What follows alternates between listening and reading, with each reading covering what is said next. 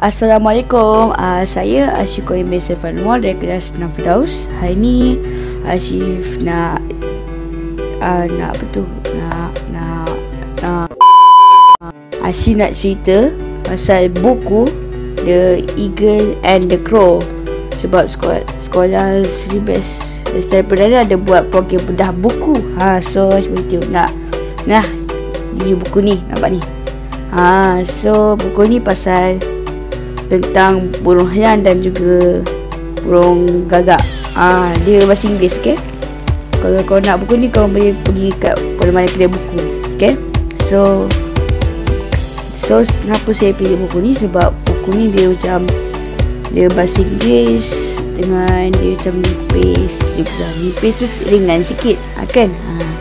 Lepas tu cerita more cerita dia kat sini dia ada seekor helang ni dia terbang. Lepas tu dia jumpa lah biri-biri dia nampak nampak dia nampak biri tu dia terus angkat. Lepas tu burung gagak pun nampak bur, burung helang tu nampak angkat biri-biri lepas tu uh, burung, burung gagak pun kata burung gagak pun fikir hmm, macam senang je ke uh, kambing biri-biri ni.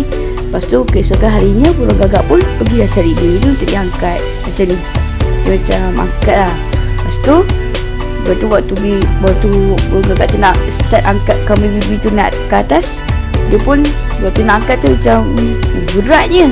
Lepas tu dia, dia punya dia punya kaki tu tersangkut dekat daun lembu kambing, kambing bibi punya belu Lepas tu dia, dia tarik sekuat hati sampai tak Lepas tu dia pun macam aduh susahnya. Lepas tu dia tak dia tarik atau tak, tak, tak jadi dia pun tersangkut je dekat uh, apa tu bulu bili-bili kami bili-bili tu. Lepas tu ada uh, seorang petani dia datang dan tengok ada burung gagak tersang, tersang, dia tersangkut dekat kami bili-bili punya bulu.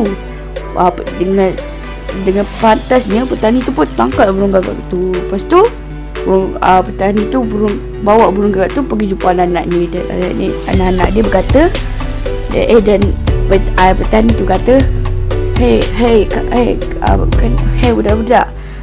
Hey budak-budak. Uh, uh, um, ni, uh, ni burung apa? Lepas tu budak-budak anak-anak dia petani tu pun kata itu itu burung gagak. Dia ingat dia burung gagak. Dia ingat itu burung gagak. Dia ingat itu burung hilang. Ha.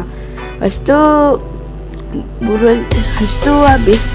Uh, lepas tu uh, Lepas tu burung yang burung ah, Lepas tu petani tu pun campak burung gagak pergi dari situ. Lepas tu pengajaran dia Kita janganlah meniru orang lain. Kita macam jangan Apa tau Jangan Kita tak boleh Meniru Tak macam ah!